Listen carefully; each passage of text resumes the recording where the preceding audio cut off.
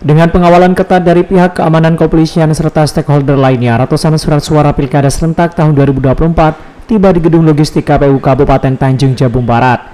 Surat suara tersebut tiba pada Selasa sore pukul 16.00 waktu Indonesia bagian Barat.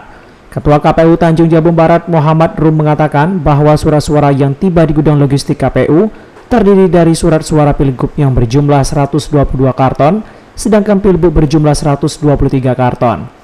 Dirinya juga menambahkan bahwa surat suara tersebut telah tiba pada Senin malam di Provinsi Jambi. Pendistribusian surat suara yang menggunakan satu unit truk ini dibagi menjadi empat kabupaten kota, yakni kota Jambi, Muaro Jambi, Tanjung Jabung Barat, serta Tanjung Jabung Timur. Ketua KPU menegaskan nantinya surat suara akan dilakukan pengecekan terlebih dahulu dan hal ini dilakukan untuk mengetahui bahwa ada kekurangan atau kerusakan terhadap surat suara tersebut. Selain itu, surat suara cadangan dipersiapkan 2,5 persen. Ya, uh, untuk surat suara, jadi kita di sini kan ada dari surat suara untuk gubernur dan surat suara untuk uh, bupati. Surat suara untuk gubernur itu semuanya berjumlah 122 kota, sedangkan untuk uh, bupati itu 123 kota. Sebenarnya 122 kota, satu, satu kota. Distribusi surat suara, alhamdulillah uh, posisinya tadi itu sudah di provinsi malam tadi. Sebenarnya malam tadi posisi mobil uh, dari apa dari perusahaan dan Prina itu sudah malam tadi sudah sampai di provinsi. Hanya saja uh, karena satu kecapean jadi masih istirahat di provinsi. Nah pagi tadi sekitar jam 8 mobil itu sudah bergerak distribusi dengan logistik.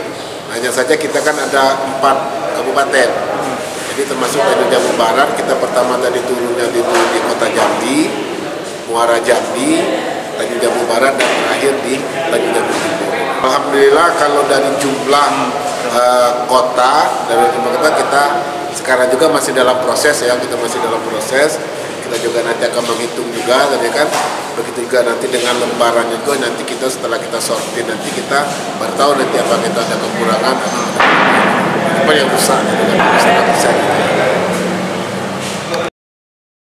Sementara itu, Divisi Hukum Pencegahan Partisipasi Masyarakat dan Hubungan Masyarakat Bawaslu Tanjung Jabung Barat, Nur Hadi Prabowo mengatakan, dari pengawasan Bawaslu sendiri, surat suara yang tiba di gudang logistik telah sesuai aturan terkhusus dalam tahapan pilkada. Sebab sejumlah tahapan Bawaslu hadir dalam melakukan pengawasan secara melekat, sehingga terciptanya pilkada yang sejuk, aman, dan kondusif, terkhusus di Kabupaten Tanjung Jabung Barat. Kalau untuk pengawasan hari ini Alhamdulillah sudah sesuai dengan prosedur yang ada. Tadi kita mulai penjemputan dari gudang logistik yang ada di KPU Muara Jambi kemudian terus bergeser sampai tadi serah terimanya di gerbang Muara Jambi dan sampai pengawalan itu sampai sini selesai. Alhamdulillah semuanya sesuai dengan prosedur termasuk juga dari pengawalan dari teman-teman kepolisian. Artinya pengawalan kita cukup lengkap hari ini.